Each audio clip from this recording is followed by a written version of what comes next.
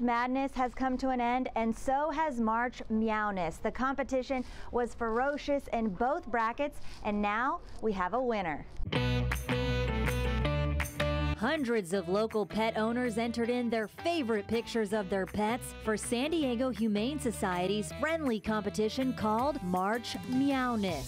After several weeks and 7,600 votes, the results are in. Kenobi the cat is the first place champion. And as for this tortoise named Turbo, Oh, he's just like really fast, so so that's why. He is fast, but not fast enough. He came in second place, just like our San Diego State Aztecs in March Madness. However, Turbo is the first tortoise to ever place in this contest. I'm really happy. Like at first we just like entered him for fun because we didn't we didn't like really know he would like make it that far, you know? And then like but he did, so we're really happy about that. Buffy the kitten placed third. We like tacos. we like tacos.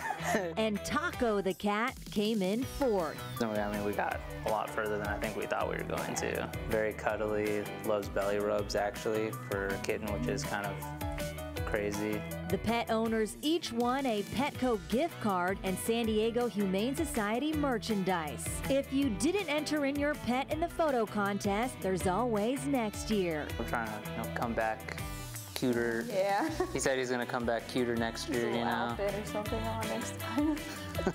Remember, you can adopt dogs like Cartwright here or other pets at San Diego Humane Society. I'm Ariana Cohen for CBS 8.